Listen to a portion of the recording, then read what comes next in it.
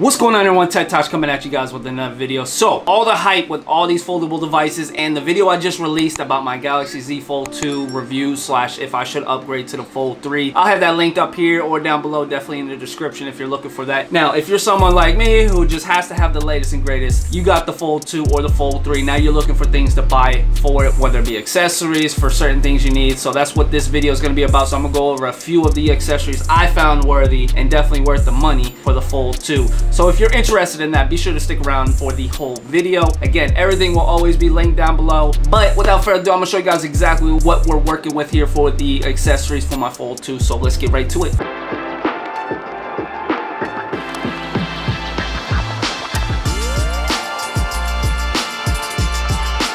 Here we are with everything that I think is an essential for your foldable device. Honestly, this goes to any smartphone, but I'm speaking basically on the phone that I have, which is the Galaxy Z Fold 2. Like I said, if you have the Fold 3, majority of these should work with the Fold 3. You just might need to get the Fold 3 edition. The first thing I'm gonna show you that I think is a recommended case for my Fold 2 and any phone, to be honest, if you're into this style, is the Lew Later case or Later case made by Lew from Unbox Therapy. This case isn't gonna be for everyone, just like this phone isn't for everyone. Me personally, I don't like the heavy, bulky Defender style cases. They have their time and place for sure. Definitely recommend those. But me personally, on an everyday carry, I'm not gonna carry a bulky, heavy duty case. That's where this stands. Thin, light, stylish. Enough protection as far as if you do a little ding or little scratch resistant case type thing. But the main thing is it is super sleek and the design is a carbon fiber style design. Really thin and I think it really fits well with any phone that you get that I've had so far. Like I said, I've used this for my Note 10 Plus, uh, my Note 20 Ultra as well. And they do have a Cyber Edition. This is not the Cyber Edition.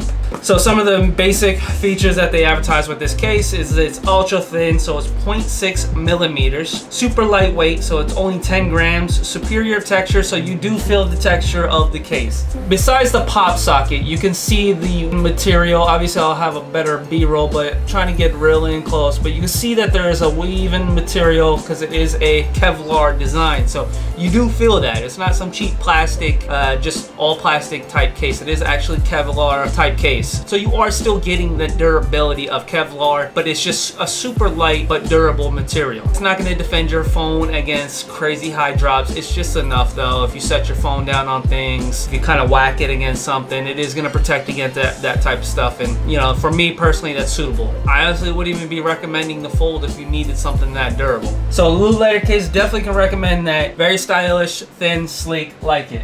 Next thing on the list for your Galaxy Fold devices, that is the Samsung Trio charger. I obviously recommend this because it saves a lot of time and a lot of wires. So you have one single pad that will be able to charge your watch, your earbuds, and your phone. Or maybe two phones and a watch. It's very versatile as far as charging multiple devices, but the watch segment there is perfect because some watch chargers will not work on certain watch chargers. So I have the Galaxy Watch 3 and you can't use every type of wireless charger for the watches. So having a wireless charger specifically designed for my ecosystem, which is the Samsung ecosystem, having that watch charger and being able to charge my headset and my phone is perfect. Very convenient, definitely can recommend that. And the quality of the product is nice as well. So just some of the features on this, it does say charge together three in one, nine watt fast wireless charging, LED dimming mode, so it does have lights on it, so it will indicate when the device is on it and connected and charging. It has the three lights lined up on it. So each time you put a device on, you'll see one light kick on. And then once you see all three lights on for each device, you know everything is being charged. So that's great, being able to have an indicator for that that is very visible. So it does have an internal of six coils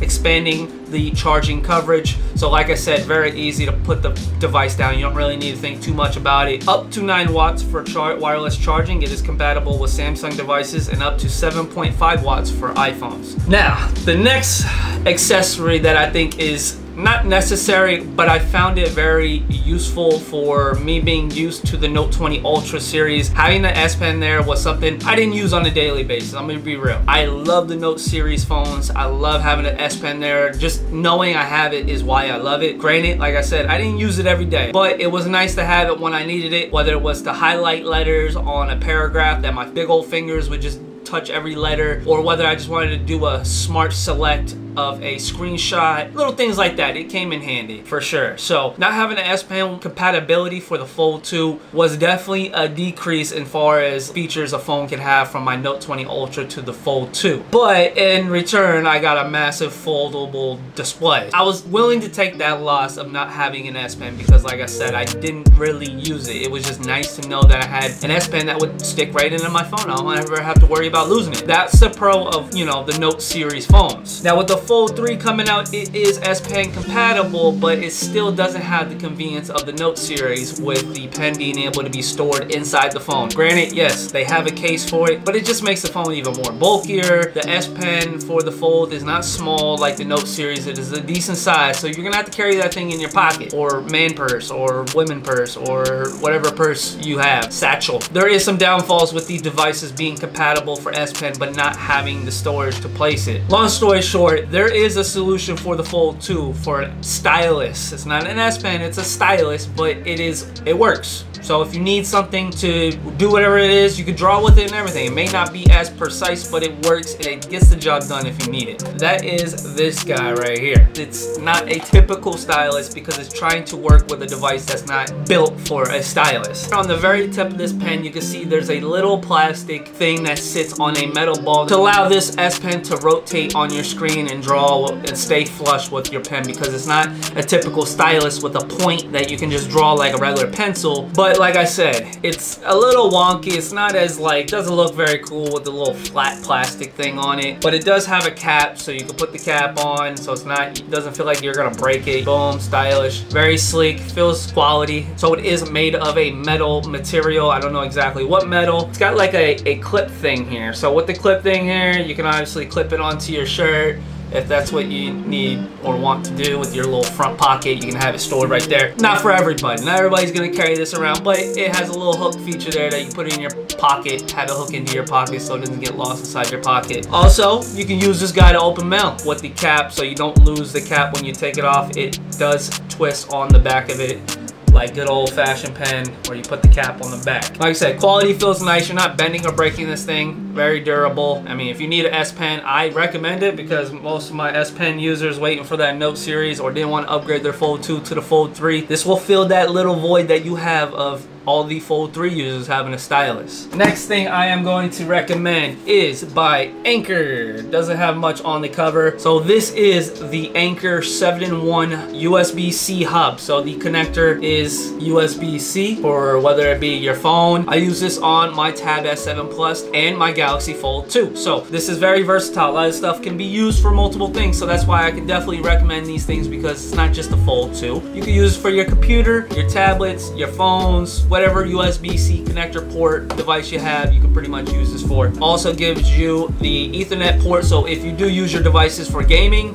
you could also use this just to give you a direct connection to your internet so you're not running off Wi-Fi. So there's a lot of different angles on why you would want to use this. Definitely could recommend this with all your foldable devices. For all my gamers, a controller I can recommend, now this could be controversial because this usually comes down to preference, but I can recommend the 8BitDo. So this is a Bluetooth universal controller. If you're not familiar with 8BitDo, they do Nintendo-esque, Super Nintendo-esque style controllers. So you can get like the old school Nintendo controllers that they had that have no handles. They were just like this little tiny thing. Or you can get like their Pro series that actually are aiming more towards the console players who want that traditional style of controller that they're used to with the PlayStation 4. Now, that's where I would say this mostly resembles is the PS4 or PS5, whatever you're using, style controller. Obviously, it's not spot on as the same, but as far as the feel with the Joy-Cons, the triggering system, you can use it for multiple devices, whether it be your phones, your Switch, your computer, uh, a lot of different devices you can use. And as you can see on the back here, it shows you all the systems you can use it on. Now with the Z Fold 2 being so massive with the inside screen, gaming on this thing is amazing. I mean, just having a portable gaming device in your pocket that is way better than any type of phone style app game. This gives you full control of console style games. So I could play Rainbow Six Siege, Forza, Halo, of course, Sea of Thieves, Destiny 2. Now here we are with the controller in hand. Now it is a very simple design. It has that Nintendo old school look. That's the theme that 8BitDo does with all their controllers. So if you want to go ahead and check out the other styles, they have definitely other styles of this controller. So go ahead and check those out. Playing any game on the go with a controller is a plus in my book, and I can definitely recommend this one. That's gonna pretty much do it as far as the accessories I could recommend for my Galaxy Fold 2. And like I said, for your foldable devices in general, whether you have the Fold 2, Fold 3, S21 Plus, S21 Ultra HD, whatever device you have, you can utilize majority of these devices that I recommend but if you just got your fold 3 or if you got the fold 2 and you aren't upgrading to the fold 3 whatever your case is I can recommend these accessories for your mobile devices. Again everything will be linked down below. So if you do enjoy this type of content what you can do to really help my channel out that takes no effort out of you is click that like button if you did enjoy it. Again if you want to see more content like this as always hit that subscribe button down below so that way you can get notified. You know the deal. I'm repeating myself every video. But with that said, y'all stay nerdy. I'm out. I'll catch y'all in the next video. Peace.